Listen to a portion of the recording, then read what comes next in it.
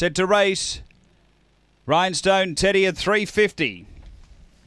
Away. Rhinestone Teddy stepped okay. Hope of Joy missed it by six. Crackerjack Glen out quickly. They go to the first bend. Rhinestone Teddy's going to push on and lead. Uh, Crackerjack Glen second. Then Jackie Jarvis. Uh, next is Hippie Allen around it. Snow Avalanche. Next is Zen Warrior Hope of Joy. And then Pearls Poppy, the front runner here. Rhinestone Teddy out by four. Crackerjack Glen doing the chasing. And then Jackie Jarvis on the turn though. Rhinestone Teddy going well. Uh, clear of Crackerjack Glen. Rhinestone Teddy won it well. Crackerjack Glen second. Third is Jackie Jarvis. And then came Zen Warrior. They were followed by uh, Hope of Joy, who made some ground from Snow Avalanche, Pearls Poppy.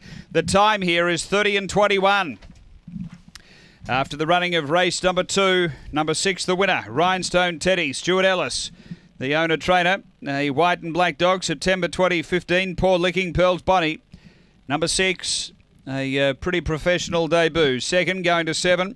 Crackerjack Glen, Sharon Gray, a black dog, March 2015. DJ's Octane 5%.